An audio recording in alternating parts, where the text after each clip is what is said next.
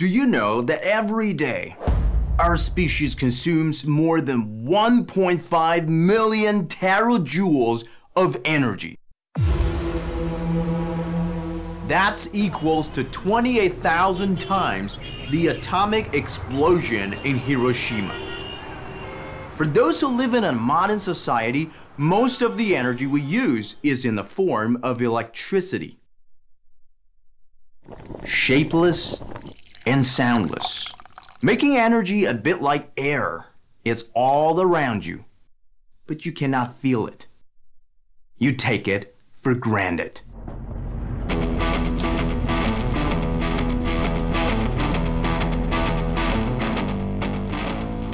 Until this summer, when I visited Junggar in Inner Mongolia of China, I didn't realize that I had never seen the primary form of our energy, so concrete and solid before they were extracted from deep inside the Earth crust.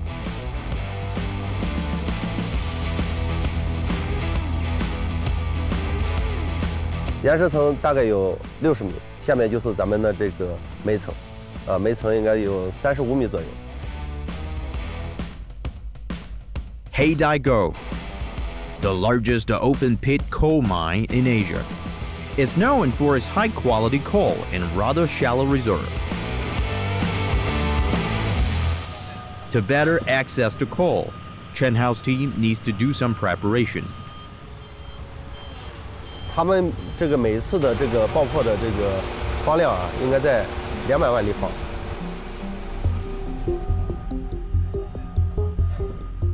We are walking on 1,500 tons of an explosive called ANFO.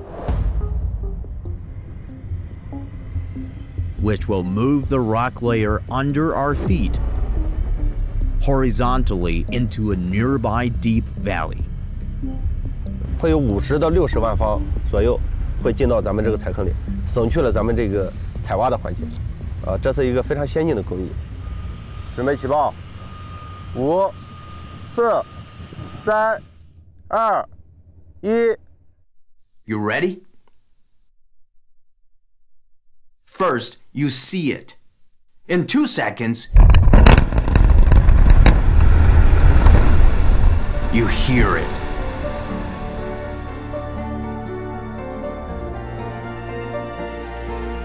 Here comes the high density fuel that powers our civilization.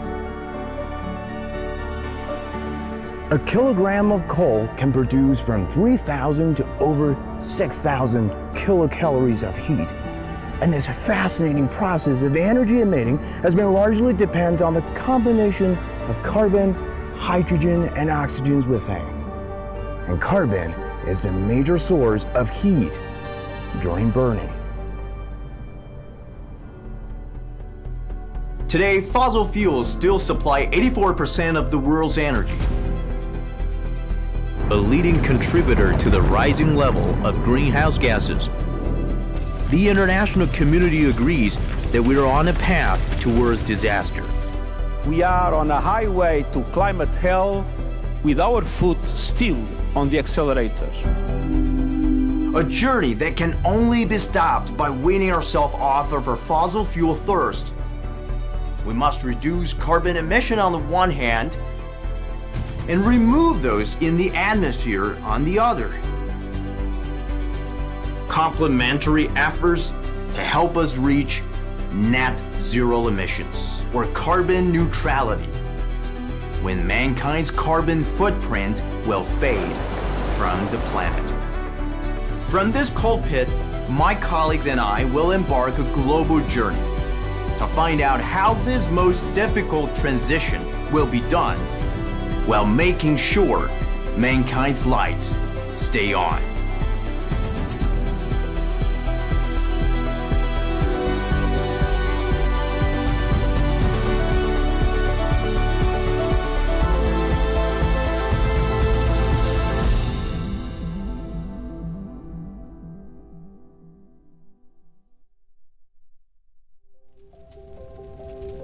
Throughout the history of human civilization, we've always had a big appetite for energy of higher density. From wood to charcoal, from fossil fuels to nuclear. This trend never changed until the climate crisis forced humanity to reverse course for the first time.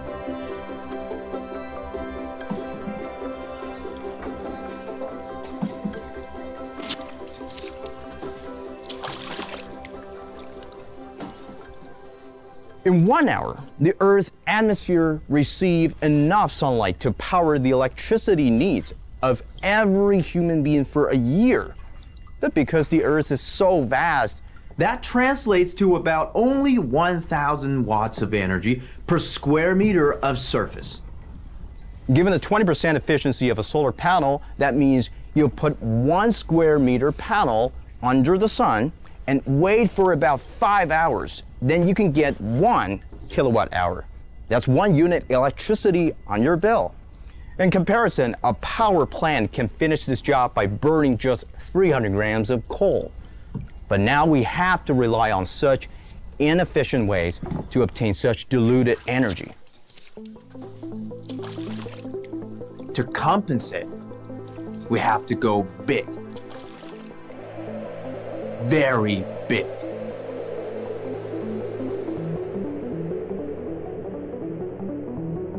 when over 600 square kilometers of desert are covered with solar panels. It's a different story. You're looking at one of the world's largest solar farms. But it's just a fraction of a more ambitious plan of Qinghai, which includes 2,000 square kilometers of an installed capacity of 154 million kilowatts, equivalent to seven Three Gorges power stations. In fact, China has 323 gigawatts of solar capacity, around a third of the entire global total. But more importantly, mass production and research progress here have cut the panel price by 75% in 10 years. But that doesn't mean we can solve the climate crisis by covering an entire desert. Engineering and economics aside, a massive solar farm will absorb more heat than the natural sand, change the region's climate, and dramatically transform the ecological landscape. The good news is we have a lot of desert and unused land around the world. But the bad news is few people live there. So we need to invest more in grids to transfer the energy to people who need it. How can we bring renewable energy closer to us?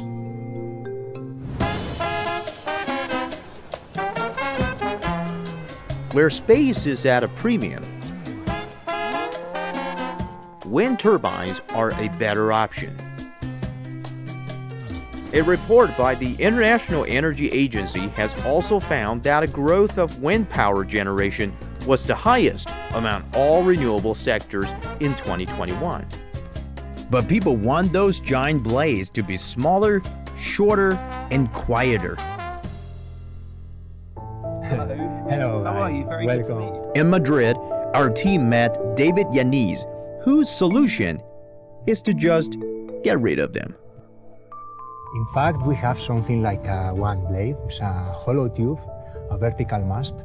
We oscillate with the wind with the resonant. When two frequencies, the vortexes and the natural frequency of the structure start to move, uh, we have to a way to collect energy from the wind, to transmit energy from the fluid to the structure. November 1940. The Tacoma Narrows Bridge disaster in the US taught people a lesson about a destructive phenomenon called vortex induced oscillation. Ever since, engineers have tried their best to avoid that force of nature. Until they found they could turn it to their advantage. The wind comes in this direction. The wind produces a physical phenomenon here in which the pressure is high and low in both sizes alternatively. So at the end, vortices are produced. Prototypes are tested in this wind tunnel.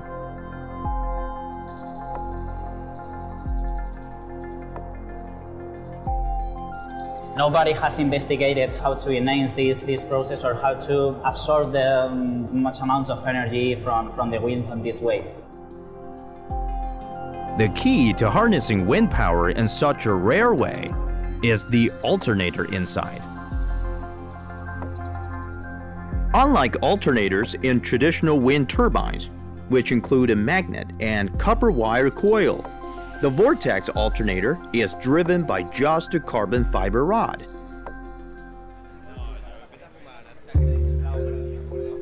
At Comillas Pontifical University, scientists are testing all kinds of materials to their limit to see if they can withstand the oscillation, including this carbon fiber rod.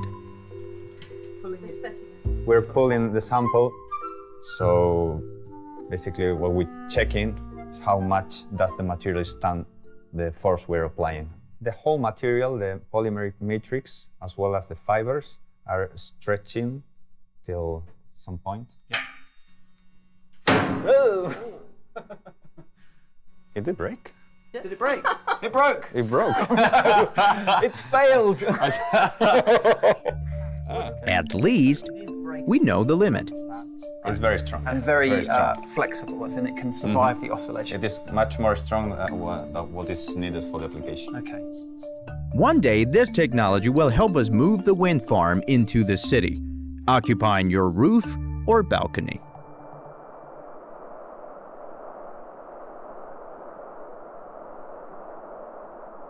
Competition for available land is more severe in populated areas. Well, today, solar panels could be found anywhere in China. Rooftops are just old fashioned. If humanity wants to avoid the worst of climate change, we need to better get more creative about where we put solar panels. Under those panels is actually Lu Jianhua's fish pond.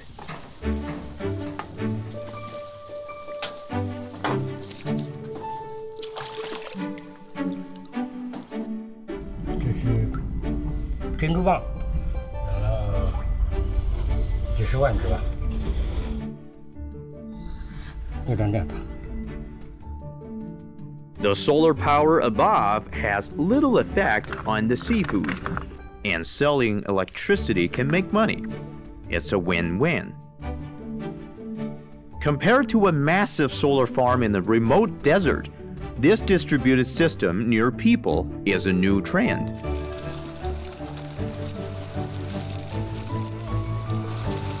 For Mr. Liu, it's a good day for harvesting seafood. And a good day for harvesting energy. Whether it's the innovative wind power in Madrid or a creative fish pound host solar farm in Changzhou, they both bring renewable energy to populated areas. Otherwise, we need to transmit power from far, far away. There is an abundance of renewable energy out there, but power lines are massive black holes of energy. Pai, as nossas ofensas, assim como nós perdoamos a quem nos tem ofendido, e não nos deixeis cair em enganação. Praying for safety. Amém. Paulo Chavez will soon go up to his workplace at a height of 57 meters. Treading on aluminum cables transmitting energy at 800,000 volts, double the voltage of conventional lines. Para o pessoal que não conhece, acha que isso aqui é um serviço, ah, você é um cara louco, trabalha numa, numa energia dessa, vai entrar dentro, dentro, dentro dessa, dessa classe de tensão. Para quem está de fora, é, é um negócio, sabe, de outro mundo, sobrenatural. The line deserves special care. At one end In the heart of the Amazon jungle in Brazil's northern state of Pará lies the Belo Monte, the country's second largest hydropower station. At the other end is Rio de Janeiro, the mega city in the country's southeast. This 2,000 kilometer long line has to deliver 4,000 megawatts of energy to feed 70% of a power need there. Whether Rio can embrace more renewable energy is determined by transmission. It's impossible for the usual alternate current transmission because the wire resistance will generate considerable heat over such a long journey and resulting in a huge loss of energy. Well, Ohm's law provide a solution. You can apply a very high voltage in order to transfer energy at super low current value, thereby minimizing the energy loss over long distance. Direct current is better suited for the long distance job. At converter stations, voltage will be raised to 800,000 volts, which qualifies as ultra high voltage and has to the destination without any stops. This is Belo Monte's Chinese twin in Jiangsu. The maintenance schedule gave me, and anything else that can breathe, a chance to get into the very heart of it. Well, if the converter station is a still jungle, here, the Valve Hall is the holy temple hidden deep in the forest. That's where all the magic happens. Electricity is transferred at the speed of light, 300,000 kilometers per second. The 2,000 kilometer journey between two converter stations takes only 0.007 seconds. First, the power station generates 500 kilovolts AC. It will be turned into 800 kilovolts ultra high voltage DC at the first converter station, then has to the destination. And after thousands of kilometers of transmission, DC arrives here, where all systems are instantly engaged to convert it back into AC, then transferred to the local grid. All of them needs to be done in a flash. Within those valve, where a core component called thyristors within. At the same time, tremendous heat will be generated. So those cooling pipes will be responsible to cooling the whole system down. Without them, these steel giants will be melted down one by one. A masterpiece of engineering. We have the power centers along uh, from the, the consumer centers. Like I mentioned, this is a very useful technology and the way to reduce these, these losses is the most efficient way to transmit this uh, kind of uh, energy. Ultra high voltage will be reduced before the power enters real for mission accomplished.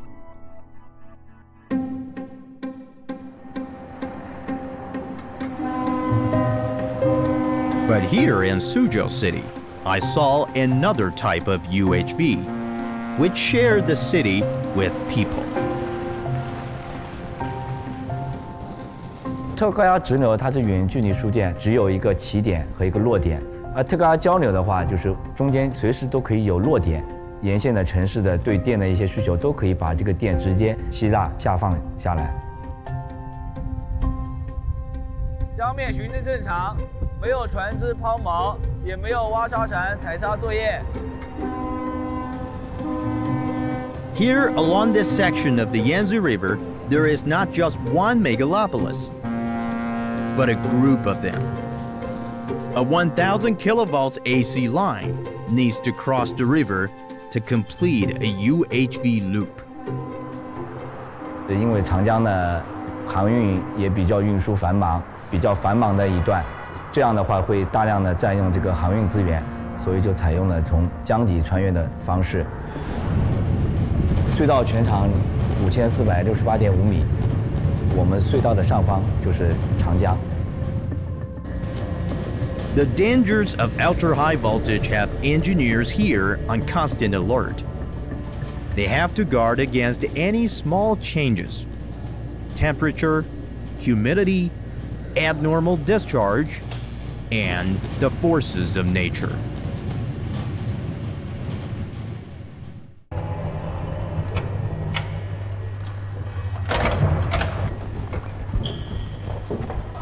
这每隔一段就有这么一个东西哈。这个是我们一个伸缩节，我们整个管廊有五百零三个像这样的这个伸缩节。这个伸缩节它主要的作用就是一个是吸收我们这个热胀冷缩，嗯，包括我们这个隧道的这个沉降，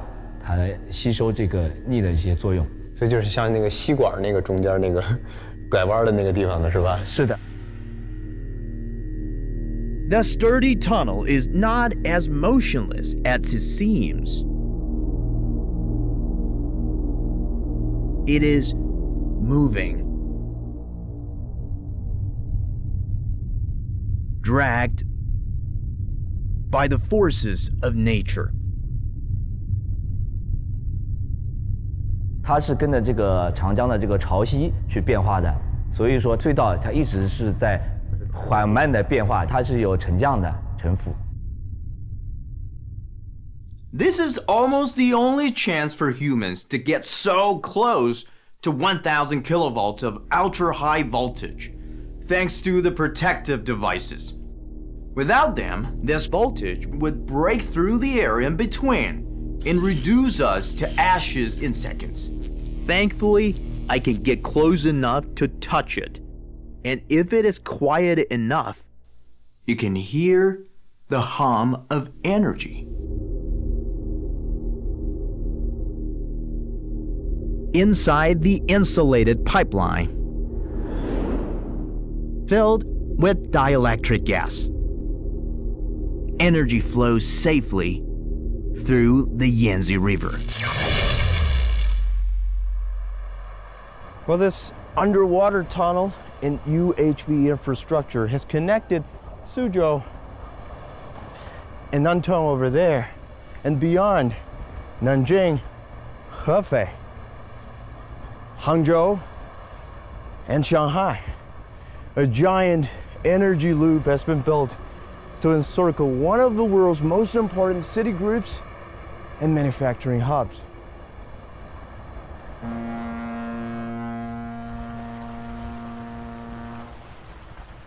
华东一直以来就是我们这个负荷中心。如果没有这个外来的去外来电，我们需要在当地建很多的，只能靠煤电。然后使用了我们这个清洁能源之后，这样的话就可以减少我们当地的发电厂。 In China, over 30 UHV lines are in operation, linking renewable energy in the country's west to wider consumers on the east coast. But not all renewable electricity can get on those lines because of the bad temper of solar and wind sources. The power grid's job is to balance supply and demand at the speed of light all the time, making sure the plants generates not too much, not too little. Fossil fuels and even hydro can instantly adjust output as desired. But solar and wind are like untamed horses. They just run wild. So if too much or too little renewable energy enters the system when not needed, the grid will fluctuate or even collapse. That's when curtailment happens, a purposeful waste of solar and wind energy.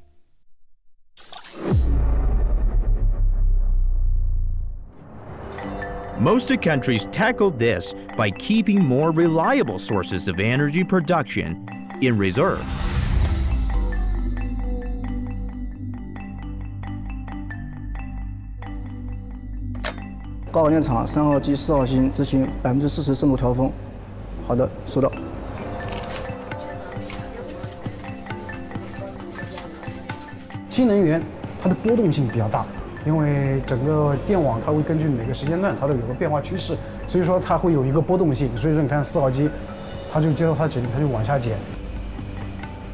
The new challenge for this powerful generator is how to keep a low profile. 就像以我们百万技术来说，我们正常调节区间应该就是百分之五十到百分之一百。我们目前的深度调峰的这个能力啊，应该就是从百分之四十，逐步逐步，我们现在已经探到百分之二十。But if the wind drops, or when the sun deeps beneath the horizon, they have to be ready to ramp up their production. But in the end, it's still fossil fuel. Pump storage hydropower can also help. Excess electricity is used to pump water to the top of these dams, where it is stored as potential energy. When it is needed, the water is released to drive turbines.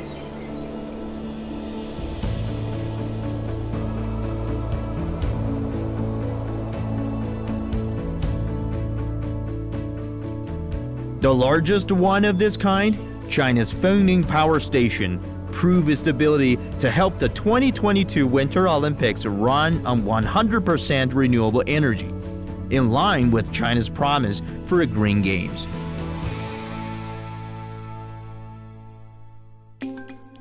However, batteries are catching up as the most scalable type of grid scale storage.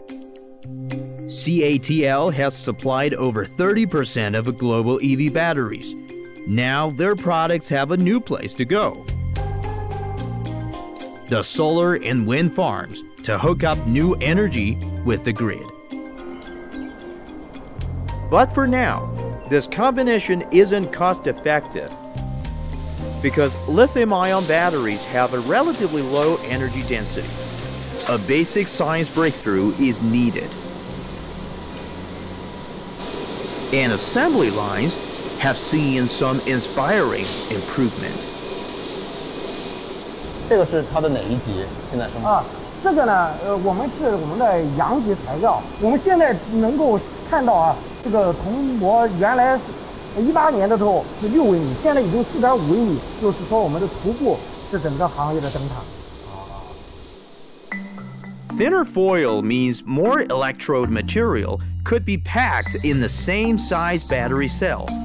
increasing energy density.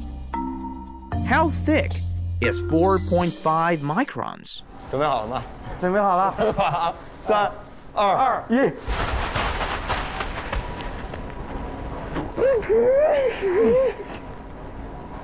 这么大？对，这么大。还是你卷的小一点，好像。 From raw materials to a cell like this, carbon emissions per kilowatt hour battery capacity, it's about 60 kilograms. Pan Xuexing's job is to track the carbon footprint. 制造过程中产生的二氧化碳占电池的全生命周期的话，大概百分之十到十五。嗯，啊，所以说我们有很大部分的二氧化碳是产生来自于上游价值链。你中间涉及到碳酸锂，碳酸锂本身它有碳酸根，对正常跟这个三元前驱体烧的时候，就会产生二氧化碳直接排出去了。那么我们这两年一直在推着上游再去 去努力的减碳降碳。 If a battery is what we use to tackle climate change, it better be a product of net zero emissions. But in the eyes of Lu Wengang, the future of grid storage has already been produced. 如果我们把电动汽车仅仅作为一个交通出行的工具，一个电池以五十度电为例，那么 它在十年的使用期间里面，续航里程最多十八万公里，它只消耗三万度电，这里面还有十七万度电的储能能力没有发挥出来。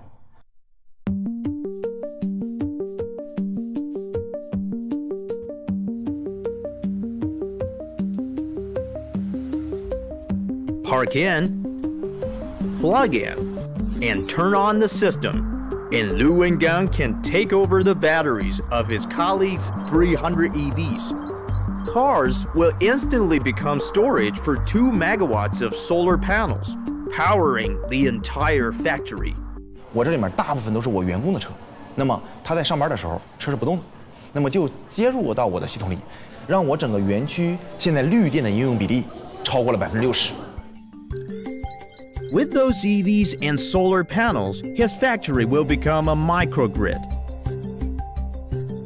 which is a part of the city grid, participating in the more complex interaction. Energy flows through the cars, and when the shift is over, people drive home and charge the E EVs.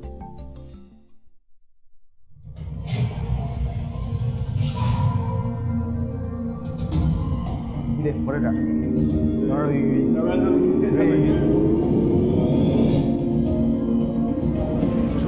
这个就是我们以后的那个景象，是吧？就是所有的车都是都是电池，然后它现在在往电网去反哺这个电。对，这就是未来的储能电站，这就是固定储能。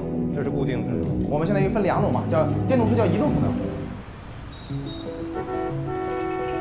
By 2040, China could have 300 million EVs with a combined battery 20 billion kilowatt hour capacity, equal to the electricity consumed in China for a day. 是希望把我规模化的电动汽车代替了它原来要单独投资的储能电站。这样的话，对于分布式光伏来讲，不需要再额外投资储能。 We are witnessing a revolution, but fossil fuels won't be gone overnight, so carbon emissions will be still there. But if we can store the electricity, can we store CO2?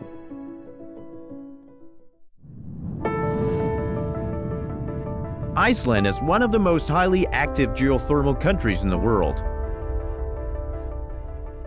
At the Hellisheidi power plant just outside of Reykjavik, steam from underground creates the power, but also brings CO2 with it. Dr. Edda Aradóttir is the project manager of CarbFix, pioneering a process to bury that CO2. This power plant, for example, only emits 3% of the CO2 coal burning power plant of the same size emits. Last year, we captured and injected a third of the CO2 emissions from the power plant. So, how do they capture CO2? It seems very simple. Steam and hot water are pumped to the surface to generate electricity. The steam drives the turbines and is then cooled and condensed. Gases like carbon dioxide and hydrogen sulfide from underground are pumped out of the turbine into the scrubber and showered with pure water. Here, CO2 and other gases are dissolved and non water soluble gases are vented. The CO2 mixture is then piped over to those igloos, which protect the 2 kilometer deep injection well and equipment from the harsh winter here. Nature plays a big part. Basalt rock is cooled lava and contains calcium, magnesium, and iron, which reacts with the CO2 mixture, forming solid calcium carbonate in the rocks. So this is a core we drilled into the storage formation a few years back. And then we have the white veins and spots in between, and that's mineralized CO2. And uh, turns out that what we inject is turned into rock like this in less than two years. So it's a very efficient and effective process, permanently getting rid of CO2. Iceland is now looking at applying this technology to heavy industrial plants. Wherever there is basalt rock, this process can work. It's the most common rock type on Earth, covering around 10% of continents, and most areas within the ocean basins are underlined by basalt. On a big scale, we looked at all of the oceanic ridges. Of course, it's probably not economically to do it, but you could take all the CO2 from burning of all fossil fuel that we know of on Earth. But the ocean can have one big advantage the large amount of water needed for this process. It takes around 25 tons to convert one ton of CO2, So Professor Gislason is eyeing this abundant resource to test the CO2 mineralization in seawater. What we're doing is just a drop in the bucket. Presently, we are emitting about 40 gigatons per year of CO2. We have to be extremely focused to get going, to capture CO2 as fast as we can. And then later on, in the second half of the century, we have to clean it from air because we're not doing it fast enough.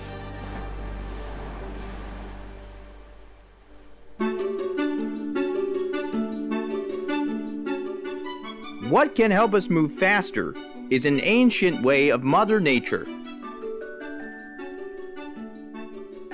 From day one for plants, they soak up sunlight and carbon dioxide in the air to create their own fuel in the leaves, in a process called photosynthesis, a way of nature to capture carbon. We need trees a lot of trees.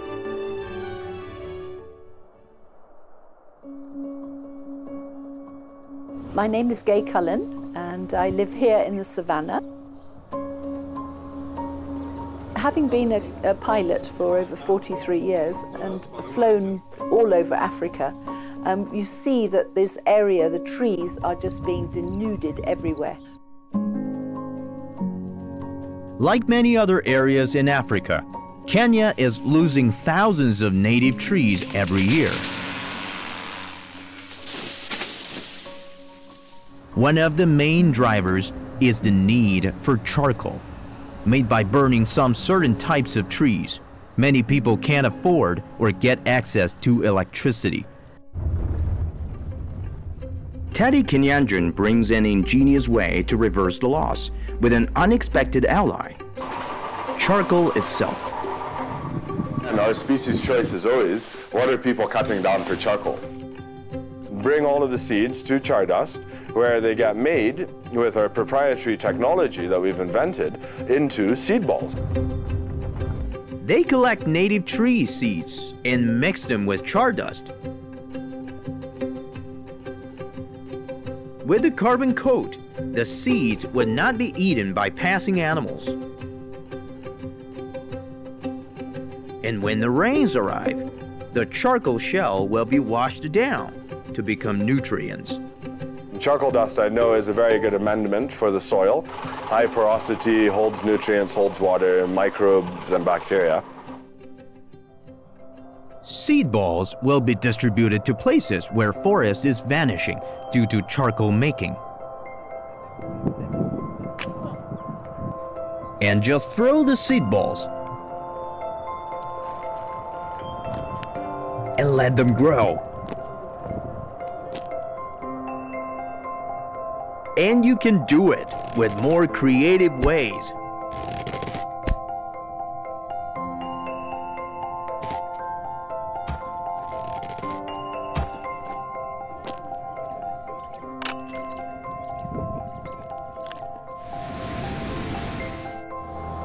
For the hard to reach areas, seed balling becomes seed bombing. A whistling uh, thorn acacia is what we've been spreading today, and um, the yellow fever tree, acacia, we've been spreading those, and the other tree that you see around here is the desert date. Um, I think seed balling is definitely the way to go. And the more we can do it from the air and learn how to do it from the air, we can spread it wider. Kenya has only 7.4% forest to cover, well under the 10% minimum recommended by the UN. Since 2016, over 26 million seed balls have been thrown on the ground, with the hope to turn things around.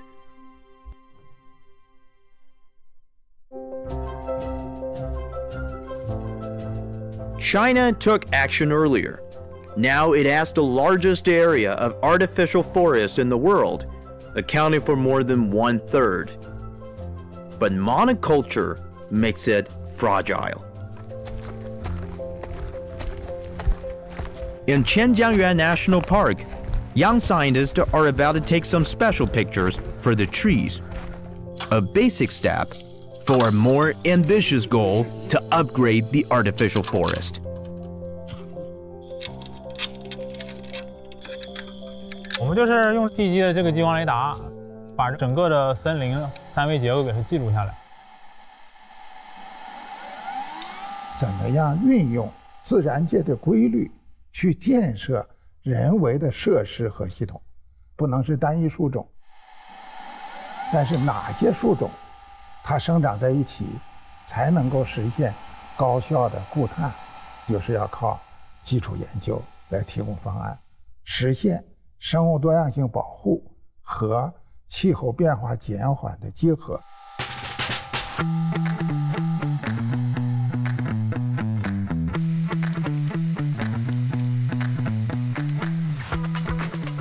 Lasers help scientists understand natural forests in a whole new way.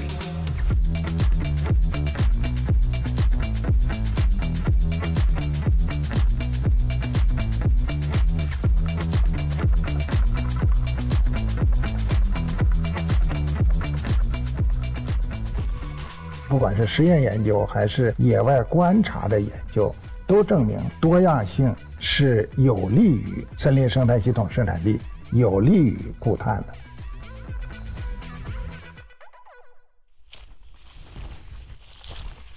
But why and how biodiversity could improve carbon storage? Liu Xiaojun manages the decade-long experiment. Not in the lab, but in nature. 多样性为四的乔木药方 L 二十四零五幺五，胸径十一点三。About half of the weight of trees is carbon. The bigger they grow, the more carbon they capture. She compares sample lands from monoculture forest to forests with 2 to 24 tree species. A diverse plot with 24 species is the level of natural forest in Qianjiangyuan. 我们对比了纯林和种有十六种物种的每亩的这种碳储量，我们发现八年以后，十六种物种碳储量已经是纯林的二倍。Researchers have found that a diversified forest can establish an invisible network.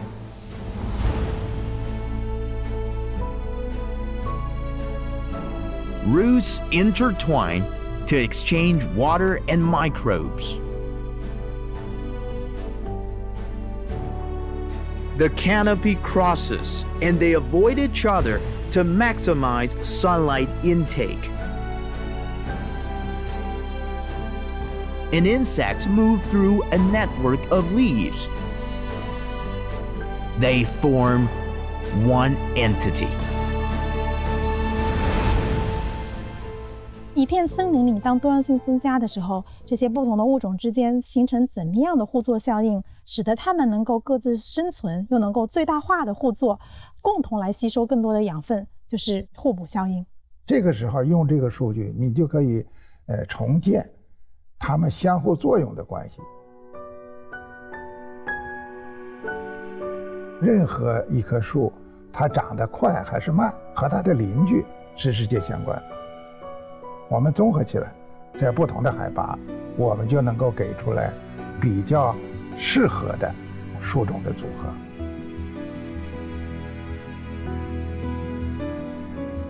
Nature just taught us how to plant trees. What we need is action.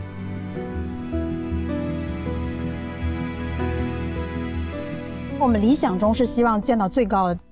但实际上，你在恢复造林的时候，碳储量升高最大的部分是从纯林到两种，所以你迈出了第一步，那后面可以朝更好的方向去发展。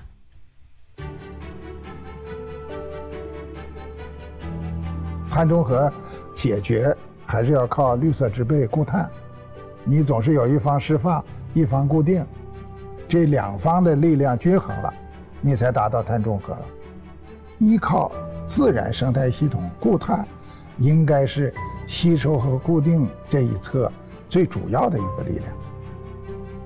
我是希望发达国家的一些专家能够更多的关注发展中国家能力建设。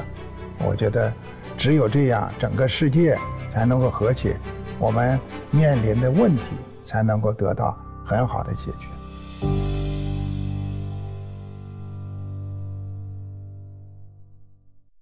All of those efforts aim to bring everyone on this planet, our kids especially,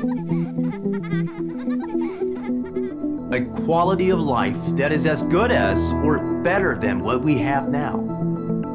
In a short time, renewable energy could be part of the solution, but our team believes there is a far more promising long-term alternative.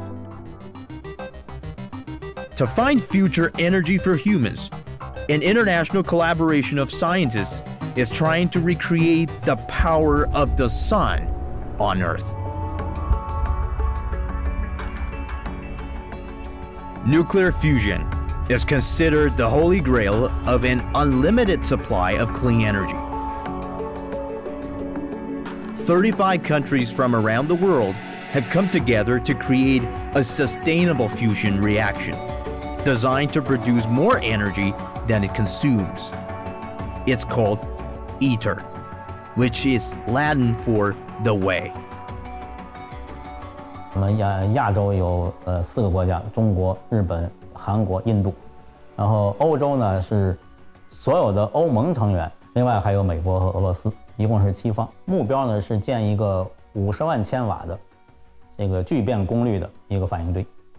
这个反应堆呢，能够为今后的这个磁约束聚变堆啊，能够长时间的稳态运行，能够实现发电，打好一个基础。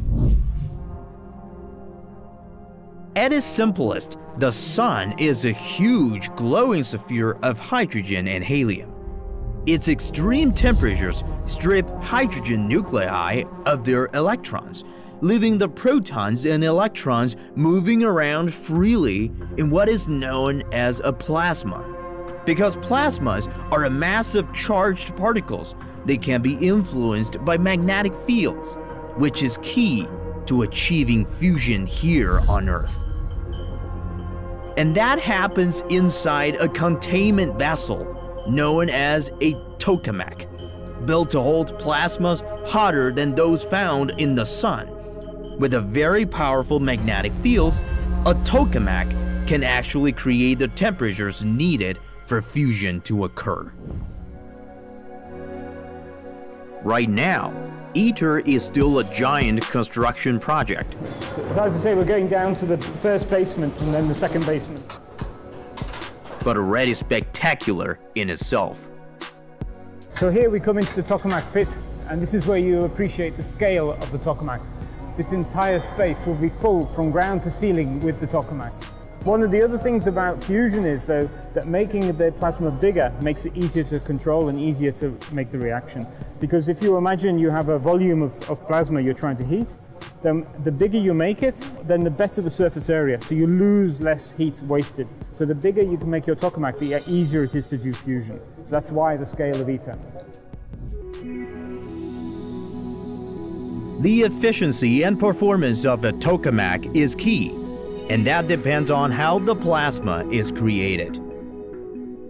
So as we see here, this is central column, that's like a transformer. So you have a gas, you give some energy to it, the electrons will start to separate from uh, this gas, and once these electrons separate, they will further gain more energy and you know they will uh, ionize another uh, hydrogen, uh, let's say. It's a chain reaction and you will finally get a plasma. The massive magnet will help control the plasma in the tokamak, creating a magnetic field strong enough to lift an aircraft carrier clean out of the ocean. ITER is designed to yield this plasma a 10-fold return on power, or 500 megawatts of fusion power from 50 megawatts of input. 这个实验是不确定性很大，所有的国家在现有的装置上开展科学实验的合作。这些合作呢，就是在互相比对数据，包括东方超环，啊，拿到了一千零二十秒这样的一个成绩。呃，还有我们的现在刚刚建成的这个环流器 2M，呃，它也是用很短的时间就实现了一个兆安。我们也是用我们的这种呃方案提出来，对伊特尔原来的这些方案进行修改。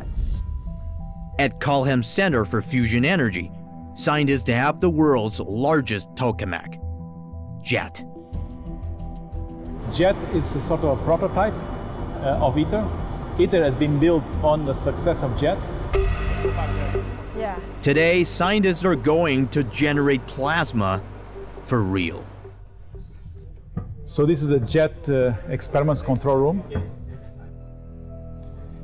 It's like science fiction, but it's not science fiction. A It's actually science.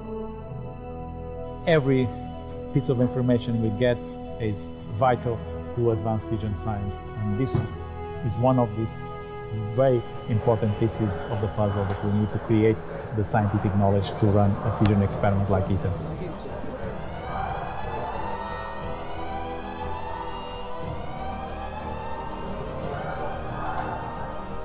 Does that sound? What you've just heard is the loudspeaker indicating that we start a new countdown.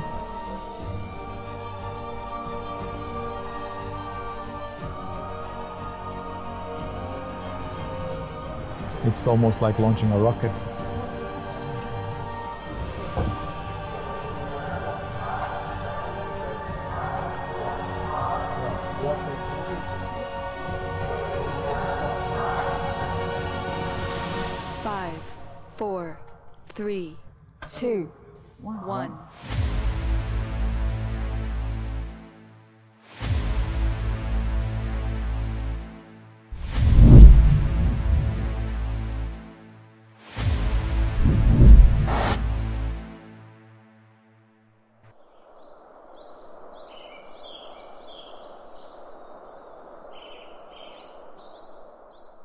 The climate is always changing.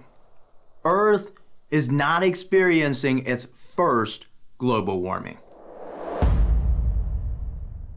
PETM 就是古新世和始新世的极温期，距今大概五千六百万年之前，有一个非常短暂的一个升温的时期，它是一个突然热起来的，所以有很多这个假说，有的认为是 这个大陆架上的这个温室气体突然释放啊，并没有形成一个一致的一个看法。How bad can it be? In fact, not bad.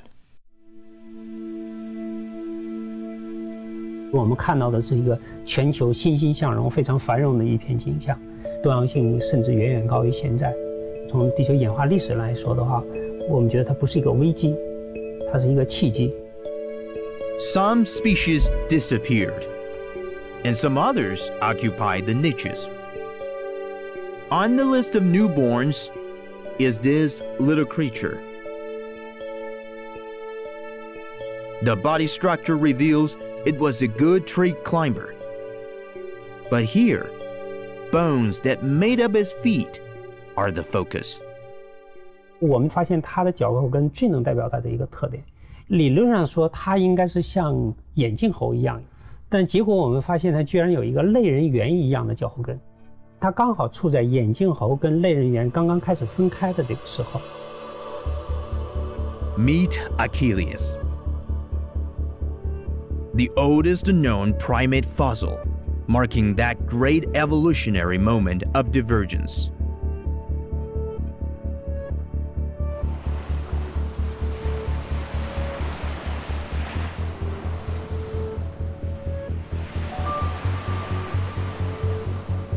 In the long years to come, the heel bones of some of his offspring would get shorter, and this offspring would leave the trees to walk upright on the ground, leaving a footprint like this. Yes, Achilles was our ancestor of some sort. Achilles made his debut in the global warming. Today, we have created another warming by our own hands. Can humanity hanging there? Or will it fade away? Earth doesn't need saving. we do.